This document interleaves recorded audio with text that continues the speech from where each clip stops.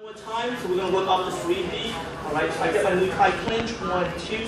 He gets in, two. But this time he gets it in. He gets it in? Okay. Now what happens as he gets it in? Um, I I want to throw from this side because it's like I'm good at this side. I can let's just say his elbow's here and I can't cup it. I can also swim it in from here. All right. So one more time. Or he gets the initial clinch, one, two. I'm on the outside. I sneak it in. And then from here, I cup it. Boom. And what I do is I rotate my shoulder, so I bring this elbow across his face. So I punch the shoulder to his face, and I pull a little bit, okay? So what's gonna happen is it's gonna look like this. Boom. Okay, now if he's not, if he's not careful, this hand might be in the way, but that's okay.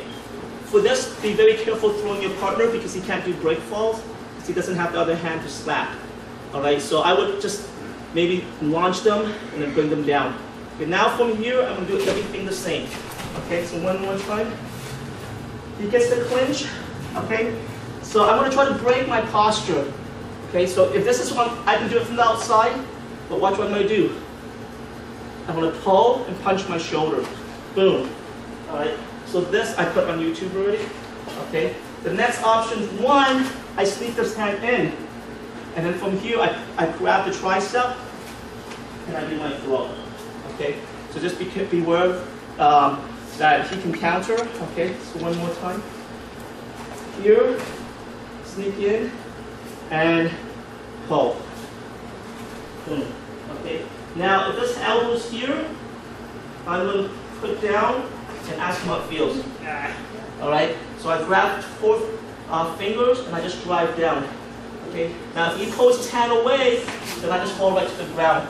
But be very careful training that. Okay. So one more time, he grabs my neck, boom, and I go like this and ask him how feels.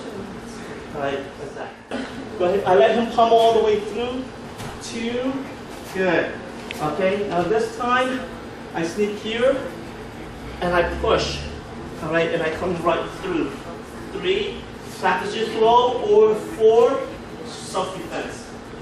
Okay, let's give that five guys. Um,